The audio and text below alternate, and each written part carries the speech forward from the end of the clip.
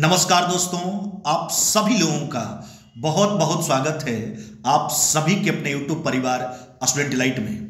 प्यार दोस्तों, आज हम आपको झारखंड जीके का एक बहुत ही इंपॉर्टेंट टॉपिक क्लियर करवाने वाले हैं, जिस टॉपिक का नाम है झारखंड का ऐतिहासिक परिचय। जी हाँ आज हम आपको झारखंड का ऐतिहासिक परिचय से संबंधित सारे महत्वपूर्ण प्रश्नों को क्लियर करवाने वाले हैं, इसलिए आप लोग वीडियो में शुरू से अंत तक बने रहिएगा। आइए देखिए ऐतिहासिक परिचय, झारखंड का ऐतिहासिक परिचय से संबंधित पहला सवाल। झारखंड राज्य का नाम झारखंड क्यों पड़ा? जी हाँ तो आपका उत्तर हो जाएगा ऑप्शन नंबर सी, वन एवं झाड़ियों की बहुलता के कारण। जी हाँ, झारखंड राज्य का नाम झारखंड क्यों पड़ा? तो वन एवं झाड़ियों की बहुलता के कारण। ऑप्शन नंबर सी, आगे बढ़िए प्रश्न संख्या दूसरा, झारखंड प्रदेश का सर्वप्रथम उल्लेख मिलता है। जी हाँ तो आपका उत्तर हो जाएगा ऑप्शन नंबर डी एतरे ब्राह्मण में। झारखंड प्रदेश का सर्वप्रथम उल्लेख मिलता कहा? एतरे ब्राह्मण में। आगे बढ़िए, प्रश्न संख्या तीसरा। झारखंड शब्द का सर्वप्रथम उल्लेख कब किया गया?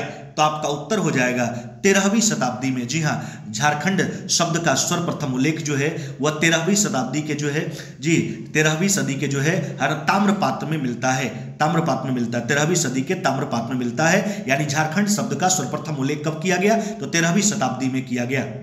आगे बढ़िए, प्रश्न संख्या चार। ऋग्वेद में झारखंड का उल्लेख किस नाम से किया गया है? तो आपका उत्तर होगा, ऑप्शन नंबर सी की काटा नाम देशवनार्थ या कीकट प्रदेश। जी हाँ ऋग्वेद में झारखंड का उल्लेख किस नाम से किया गया? की काटा नाम देशवनार्थ या Kikat Pradesh, option number C. आगे बढ़िए, प्रश्न संख्या पांचवा। इनमें से किस वेद में झारखंड को व्रात्य नाम से संबोधित किया गया है? तो आपका उत्तर हो जाएगा ऑप्शन नंबर बी अथर्वेद जी हाँ अथर्वेद आगे बढ़ जाइए, प्रश्न संख्या छ वैदिक साहित्यों में झारखंड की जनजातियों के लिए निम्न में से किस शब्द का प्रयोग किया गया है? जी हाँ वैदिक साहित्य में जो है, झारखंड की जनजातियों के लिए निम्न में से किस शब्द का प्रयोग किया गया है? तो उत्तर हो जाएगा आपका बी, असुर। असुर शब्द का प्रयोग किया गया है। प्रश्न संख्या सातवां। निम्न में से किस वेद में असुरों को लिंग पूजक या शिष्णों का देव कहा गया है? तो आपका उत्तर हो जाएगा ऑप्शन नंबर ए, ऋग्वेद। आगे बढ़िए, प्रश्न संख्या आठ तुजुके जहांगीरी। हाँ तुजुके जहांगीरी, आप जानते हो जहांगीर की आत्मकथा है। जी हाँ तुजुके जहांगीरी में झारखंड के लिए किस शब्द का प्रयोग किया गया है? तो आपका उत्तर हो जाएगा ऑप्शन नंबर ए, खोखरा। प्रश्न संख्या नौ, कौटिल्य के अर्थशास्त्र में झारखंड प्रदेश को संबोधित किया गया किस नाम से? तो आपका उत्तर हो जाएगा कुक्कुट। जी हाँ कुक्कुट नाम से जो है संबोधित किया गया है। कहा? कौटिल्य के अर्थशास्त्र में झारखंड प्रदेश को। हाँ अब कौटिल्य कौन थे? तो चंद्रगुप्त मौर्य के महामंत्री चाणक्य थे, है ना? उन्हीं का जो है अन्य नाम है कौटिल्य विष्णुगुप्त। यानी कौटिल्य विष्णुगुप्त, गुप्त के नाम से जो है वह विख्यात हैं। जी हाँ ये कौन थे? चंद्रगुप्त मौर्य के महामंत्री थे। कौटिल्य का अन्य नाम चाणक्य विष्णुगुप्त। आगे बढ़िए, प्रश्न संख्या दस। किस ग्रंथ में झारखंड का उल्लेख पुंड्र नाम से किया गया है? तो आपका उत्तर हो जाएगा इत्रे ब्राह्मण ऑप्शन नंबर बी। जी हाँ इत्रे ब्राह्मण झारखंड का उल्लेख जो है है ना? पुण्य नाम से जो है, पुंड्र नाम से जो है किया गया है। कहा? इत्रे ब्राह्मण ऑप्शन नंबर बी। आगे बढ़ जाइए। प्रश्न संख्या ग्यारह। निम्न में से किस ग्रंथ में झारखंड की को किसी दूसरे नाम से संबोधित किया गया है? यानी कहने का मतलब है, चार ऑप्शन में जो है, कौन सा ग्रंथ ऐसा है जिसमें झारखंड का नाम जो है, झारखंड को किसी अन्य नाम से संबोधित किया गया है? यानी तीन में झारखंड को झारखंड ही कहा गया होगा, किसी एक ऐसा शास्त्र होगा ऑप्शन में जिसमें झारखंड का अन्य कोई नाम होगा। तो आपका उत्तर हो जाएगा ऑप्शन नंबर ए कौटिल्य का अर्थशास्त्र, जिसका ज़िक्र हमने पीछे किया है कि कौटिल्य के अर्थशास्त्र में जो है, झारखंड का नाम क्या है? तो कुक्कुट या कुक्कुट देश है। जी हाँ और बाद बाकी अकबरनामा, तारीख बंगला, तारीख फिरोज शाही सब में झारखंड को झारखंड के नाम से ही संबोधित किया गया है। जबकि कौटिल्य के अर्थशास्त्र में झारखंड को कुक्कुट या कुक्कुट देश के नाम से संबोधित किया गया है। चलिए, आगे बढ़ जाइए, प्रश्न संख्या बारह। टॉलमी ने झारखंड को किस नाम से संबोधित किया गया? टॉलमी कौन थे? तो टॉलमी जो थे, एक यूनानी खगोलविद और भूगोलवेता थे। टॉलमी ने झारखंड को किस नाम से संबोधित किया है? तो आपका उत्तर हो जाएगा मुंडल, ऑप्शन नंबर डी। प्रश्न संख्या तेरह। वायु पुराण नामक ग्रंथ में झारखंड को किस नाम से संबोधित किया गया है? तो आपका उत्तर हो जाएगा ऑप्शन नंबर ए, मुरंड। आगे बढ़िए, प्रश्न संख्या चौदह। विष्णु पुराण नामक ग्रंथ में झारखंड को जो है, किस नाम से संबोधित किया गया है? तो आपका उत्तर हो जाएगा, है ना? ऑप्शन नंबर बी, मुंड। क्या हो जाएगा आपका मुंड? आपने पीछे प्रश्न में देखा, मुंड नहीं, पीछे जो था आपका देखिए वायु पुराण नामक ग्रंथ में झारखंड को किस नाम से संबोधित किया गया था, किया गया है? तो आपका उत्तर हुआ आपका मुरंड, यहाँ था मुरंड वायु पुराण में, जबकि अगला जो प्रश्न है आपका, वह विष्णु पुराण से संबंधित है। विष्णु पुराण नामक ग्रंथ में जो है, झारखंड को किस नाम से संबोधित किया गया है? तो आपका उत्तर हमने क्या बोला? आपका उत्तर हो जाएगा मुंड, वहाँ था आपका मुरंड, यहाँ हो जाएगा आपका मुंड। जी हाँ ऑप्शन नंबर बी, आगे बढ़िए, प्रश्न संख्या पंद्रह। चलिए, फाहियान द्वारा झारखंड का उल्लेख किस नाम से किया गया है? तो आपका उत्तर हो जाएगा कुक्कुट लाड जी हाँ अब फाहियान कौन था?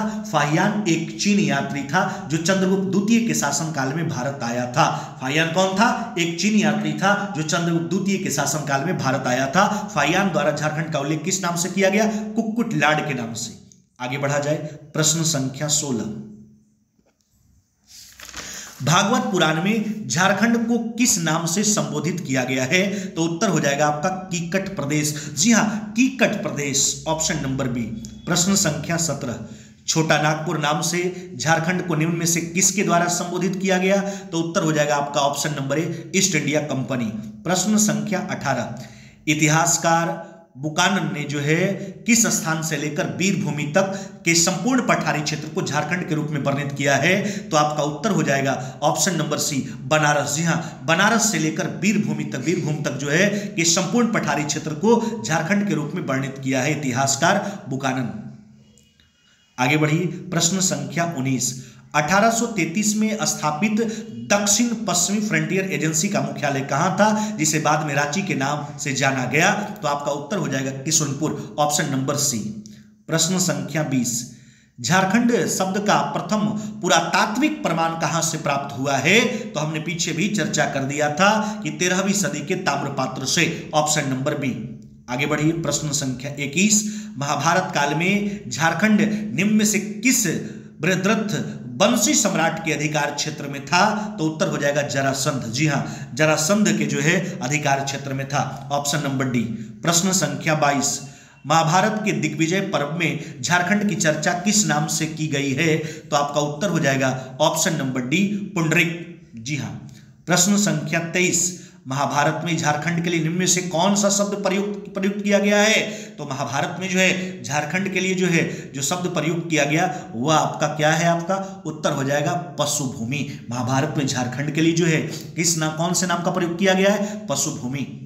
आगे बढ़िए, प्रश्न संख्या चौबीस। अशोक के तेरहवें शिलालेख में झारखंड को किस नाम से संबोधित किया गया है? तो उत्तर हो जाएगा आपका option number C, Atavi. Ashoka के तेरहवें शिलालेख में जो है, झारखंड को अटावी नाम से संबोधित किया गया है। प्रश्न संख्या पच्चीस। समुद्रगुप्त के प्रयाग प्रशस्ति में झारखंड को किस नाम से संबोधित किया गया है? तो आपका उत्तर हो जाएगा मुरुंड, है ना? Murund option number B Murund. Samudragupta जो था, जिसको भारत का नेपोलियन भी कहा जाता है। याद रखिएगा, प्रश्न यह भी पूछा जाता है, भारत का नेपोलियन किसे कहा जाता है? तो समुद्रगुप्त को कहा जाता है। प्रश्न संख्या 26 तारीख फिरोज शाही में झारखंड को किस नाम से संबोधित किया गया है? तो उत्तर हो जाएगा झारखंड। तारीख फिरोज शाही में झारखंड को झारखंड नाम से ही संबोधित किया गया है। प्रश्न संख्या 27 तारीख बंगला में झारखंड को किस नाम से संबोधित किया गया है? तो झारखंड के नाम से ही संबोधित किया गया है। Option number C. हुएन सांग ने झारखंड के लिए निम्न में से किस शब्द का प्रयोग किया है? उत्तर हो जाएगा ऑप्शन नंबर सी। की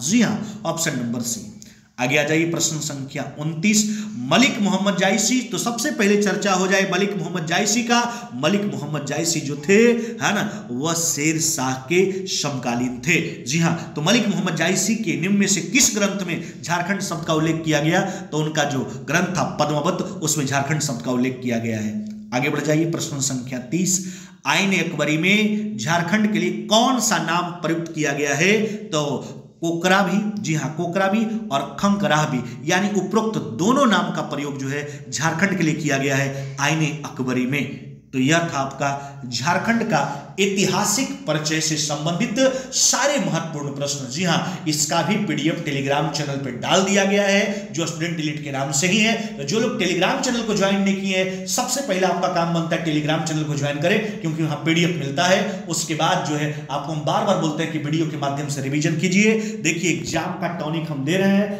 अब लेने का तरकीब जो है, आपका सही होना चाहिए। हम जैसे बता रहे हैं, वैसे आपको काम करना होगा। पहले टेलीग्राम से पीडीएफ को बनाएँ, क्वेश्चन, सारे क्वेश्चन को बनाएँ। उसके बाद यूट्यूब चैनल जो आपका है स्टूडेंट डिलीट के नाम से, वहाँ आकर वीडियो के माध्यम से सारे प्रश्नों का रिविजन करें। जी हाँ और भी किस टॉपिक पर आपको वीडियो चाहिए, जहाँ जहाँ जो चीज़ आपको लगे, उसको कमेंट सेक्शन में ज़रूर लिख कर हमको बताएँ।